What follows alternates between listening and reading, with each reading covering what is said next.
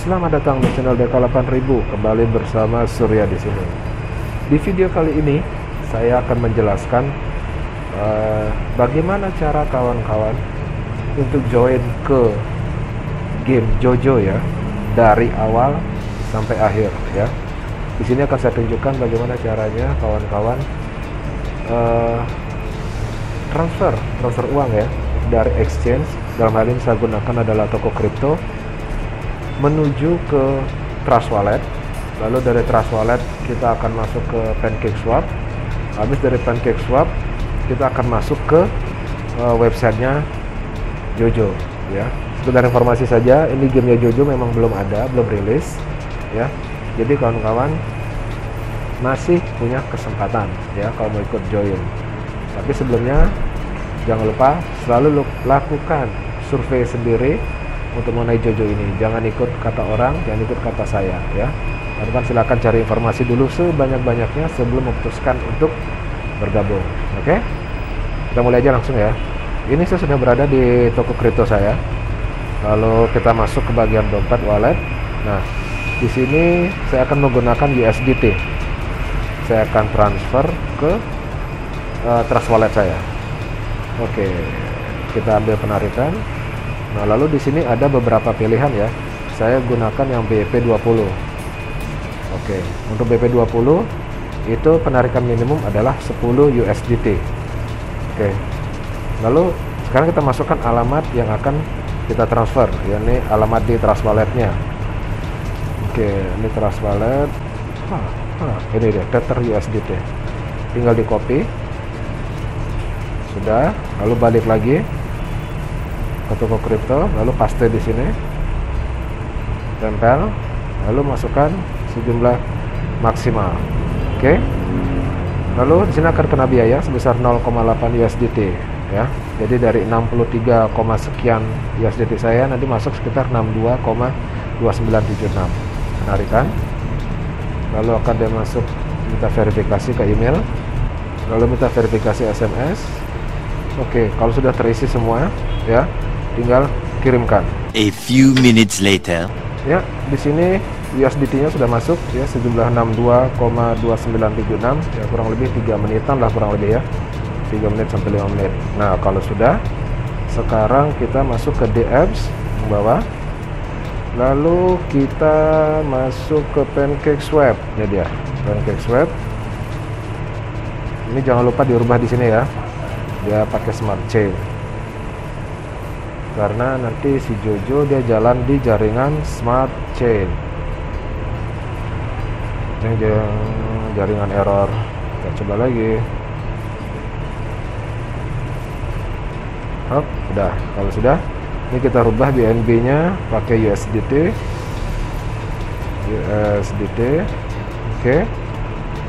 lalu yang di bawah kita masukkan Jojo Jajan kebetulan harganya lagi naik tinggi banget ya. Oke dan kebetulan pada saat saya membeli ini dia lagi koreksi. Tuh 62 dolar dapatnya cuma segini. Ini dulu bisa berlimpah-limpah dulu udah dapat dapat ininya ya dapat jojonya. Ya udah nggak apa-apa. Sekalian untuk praktek ya. Nah ini udah. Lalu jangan lupa untuk mengubah slippage-nya di sini.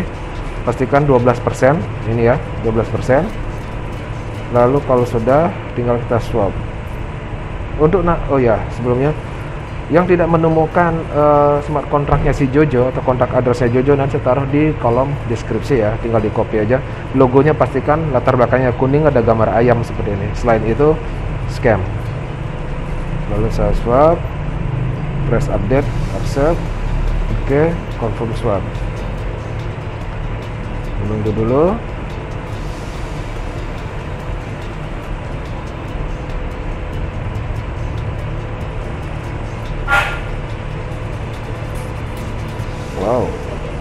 sekali perubahannya. Nah, ini dia. Smart contract call, biaya 0,63, approve, minta password, dan nah, tandanya berhasil apa enggak? Ntar lihat di sini. Ini balance 62, sekian USDT. Nah, langsung nol. Dan ada keluarnya transaction receipt warnanya hijau. Berarti berhasil. Kalau sudah, kita tutup kita masuk ke wallet Jojo sudah masuk senilai ini ya. Senilai berapa nih? 256 sekian 256.384 Jojo ini nilainya 55,96 dolar. Loh sisanya mana bang? Kan tadi 62 nah itu karena slippage 12% tadi. Masuknya segini. Oke? Nah kalau sudah udah selesai dari sini kita lanjut langsung ke Jojonya. Buka lagi the apps-nya. Ini kebetulan sudah saya ini ya sudah saya bookmark. Kalau belum di bookmark tulis saja https uh, titik dua garis miring dua jojo titik fun garis miring. Oke okay.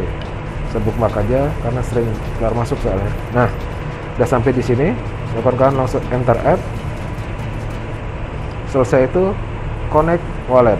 Nah kebetulan tadi pakai trust wallet. Oke okay dan connect. Selesai seperti itu ya. Dari cara beli di exchange lalu pindahkan ke trust wallet lalu ke pancake swap lalu connect ke jojo fund. Nah sekedar informasi saja untuk di jojo ini tidak ada untuk daftar-daftaran ya. Jadi kawan-kawan begitu connect wallet udah kawan-kawan bisa langsung ikut. Untuk cara buka gamenya juga kebetulan gamenya karena belum ada. Jadi kawan-kawan bisa di jojo.fund ini kawan-kawan bisa membeli membeli NFT ya, bisa menjual, lalu bisa staking, staking di pool ya. Terus bisa apa lagi?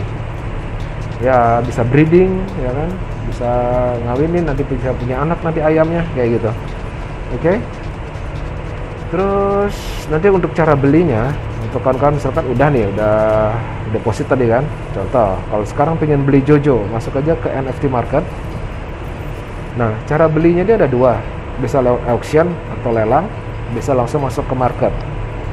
Ini sebenarnya penjelasan video tentang auction dan market ini kelebihan dan kekurangannya sudah saya buatkan di video terpisah. Nah, nanti saya taruh linknya di atas ya, atau kalau nggak di kolom deskripsi. Jadi intinya adalah auction itu kawan-kawan karena lelang bisa kemungkinan dapat harga lebih murah. Jeleknya kawan-kawan nunggu lama karena ada waktu ya. Contohnya kayak ini, si Jojo Gold Bounty nomor 48906 umpama kawan-kawan ngebit ini gitu kan ngebit ini. Nah ini kan sekarang dia buka harga berapa nih? 290.000 Jojo kan? Kawan-kawan oke okay, kayak gitu. Maka 23 jam lagi kalau kawan menang baru bisa mendapatkan si uh, Jojo Gold ini gitu. Sedangkan kalau di market biasanya harganya sedikit lebih mahal. Ini contohnya sama, Jojo Gold Bounty. Mungkin sekitar 338.500 kurang lebih ya. Ini harganya tidak tidak selalu terpaut segitu, tapi kurang lebih aja. Bisa kemungkinan dapat lebih mahal, tapi bisa sekarang kawan-kawan dapat. Nah, sekarang terserah kawan-kawan maunya gimana gitu kan. Contoh aja kayak ini. Uh, Jojo Farmer, mau beli Jojo Farmer, langsung aja contoh di market ya. Strap. Nah, nah di sini ada dua pilihan. Kalau mau beli Jojo, bisa langsung pakai Jojo Coin ini ya. 590.000 Jojo.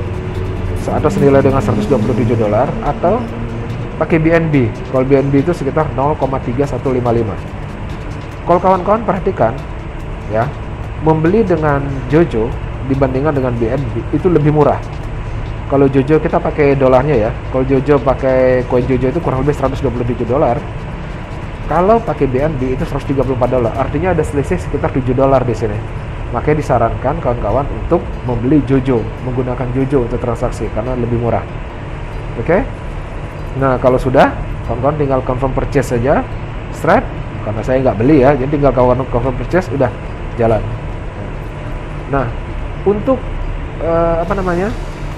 Untuk Jojo Origin itu kan? Farmer nih Origin ya kan? Ada Jojo Jojo Origin itu ada farmer, chef, dokter, engineer, knight, and scientist. Ya. Hal yang paling penting yang kawan-kawan harus perhatikan adalah ada di sini breed count waktu membeli. Ini sudah dua per tiga artinya dia sudah pernah dua kali breeding dari tiga kali. Artinya sisa satu kali lagi kawan-kawan breeding bisa breeding. Dan itu menurut saya hampir useless. Ya bisa aja sih dibeli nggak apa bisa sekali lagi cuman usahakan kawan-kawan mendapatkan yang masih 0 per 3 artinya belum pernah breeding. Itu lebih bagus lagi. Terus hal kedua yang kawan-kawan perhatikan adalah dari sisi propertiesnya ini ya gennya ini gennya ini. Gennya kawan-kawan bisa membeli yang sudah ada seperti ini atau yang polosan sama aja. Cuman kalau memang satu saat nemu yang harganya sama seumpama ya harganya sama tapi eh, nanti pembedanya adalah upah harganya sama lalu breed countnya sama 0 per 3 tapi gennya ini nanti akan bisa jadi menentukan gitu loh. Soalnya untuk merubah uh, gennya atau propertiesnya ini itu keluar biaya lagi. Kalau memang dapat udah bagus ya bagus. Cuman kalau dapat yang jelek ya terpaksa harus refine ulang lagi. Atau kalau masih polosan ya terpaksa harus refine kayak gitu loh. Fungsinya ini nanti adalah si properties ini adalah untuk diturunkan ke Jojo childnya semakin bagus ada di properties ini makanya maka nanti Jojo childnya kemungkinan akan memiliki turunan yang bagus juga. Hash rate-nya juga makin tinggi. Tapi itu cuma ngefek ke Jojo childnya ya refine-nya ini. Jadi tidak tapi refine-nya tidak berefek kepada si Jojo origin-nya. Lalu kalau ada pertanyaan Jojo Farmer kan maksimal cuma bawa tiga properties ya kan? Nilainya umpama ini 80 30 20 ada pertanyaan beli kalau saya cuma satu aja properties cuma ada satu nilainya 80 mana mendingan dibandingkan tiga seperti ini kalau saya, mendingan yang tiga seperti ini. Jadi dia bisa maksimal nanti untuk di Jojo Child ya. Seperti itu ya. Oke, udah selesai confirm purchase. Kalau udah selesai nanti, kalau misalkan kamu udah berhasil membeli, nanti dia itu akan ada di cek di pool. Nah, di bagian My NFT, di bagian sini. Dia akan muncul di sini. Yang kawan-kawan beli. Ya kan? Nah, kalau sudah sampai di sini, poolnya udah sampai di sini, silakan kawan-kawan bisa bawa. Ini Jojo James Pool ini untuk yang kemarin ya. Yang pertama tuh headset headset udah selesai. Sekarang yang wing eye yang matanya berkedip satu. Saya nggak punya. Terus ini untuk play to earn ini untuk Jojo childnya.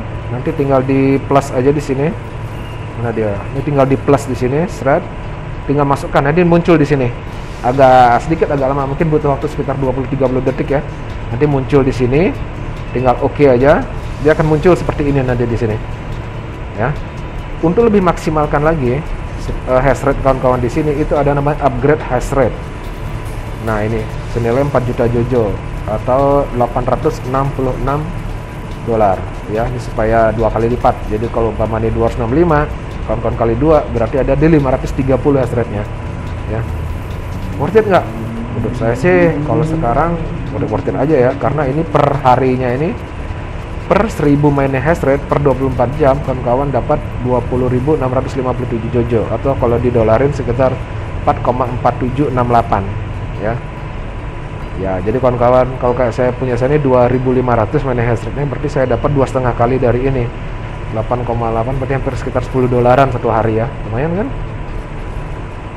Tuh terus kalau misalnya kawan-kawan punya jojo origin nah taruhnya di Genesis NFT pool. Nah tinggal taruh aja di sini. Nah kan plug cara caranya sama. Terus di sini ada Jojo Bounty Pool ini untuk kartu-kartu ya. Iron bronze gold nah masuknya ke sini semua. Oke kalau sudah ya udah tinggal nunggu itu aja ada satu lagi Jojo Fun itu punyanya Binance dan itu udah saya ulas juga di video nanti linknya saya taruh di kolom deskripsi aja ya Jojo Fun di Binance oke okay? saya demikian aja dulu videonya udah panjang banget ya Jangan lupa like, share, komen, dan di subscribe. Dan kalau 8000 kita ketemu lagi nanti di video mendatang. Terima kasih. Have a nice day. Bye-bye.